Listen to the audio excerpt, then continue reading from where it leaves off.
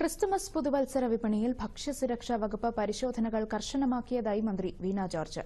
Christmas പുതുവത്സര സീസണിൽ വിതരണം നടത്തുന്ന ഭക്ഷ്യവസ്തുക്കളുടെ ഗുണനിലവാരം ഉറപ്പുവരുത്തുന്നതിനായി ഭക്ഷ്യസുരക്ഷാ ഓഫീസർമാരുടെ സ്പെഷ്യൽ സ്ക്വാഡുകളാണ് പരിശോധനകൾ നടത്തുന്നത്. സംസ്ഥാന വ്യാപകമായി വിവിധ സ്ക്വാഡുകളുടെ നേതൃത്വത്തിൽ നടന്ന പരിശോധനയിൽ മാനദണ്ഡങ്ങൾ പാലിക്കാത്ത അൻപത്തിരണ്ട് സ്ഥാപനങ്ങളുടെ പ്രവർത്തനം നിർത്തിവയ്പ്പിച്ചു. അടുത്തയാഴ്ചയും പരിശോധന തുടരുമെന്നും മന്ത്രി വ്യക്തമാക്കി.